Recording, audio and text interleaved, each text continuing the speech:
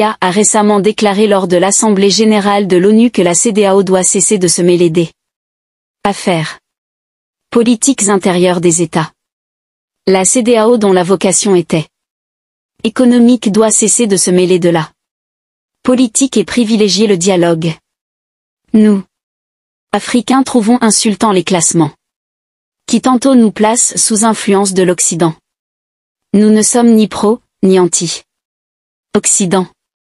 Nous sommes pro-africains. Mamadi Doumbouya, président guinéen, intervenant à l'Assemblée générale de l'ONU. Qu'en pensez-vous du discours du président de la Guinée à l'Assemblée générale de l'ONU? Son Excellence Mamadou Doumbia dites-moi tous en commentaire. Merci d'avoir regardé cette vidéo. Si vous l'avez aimé,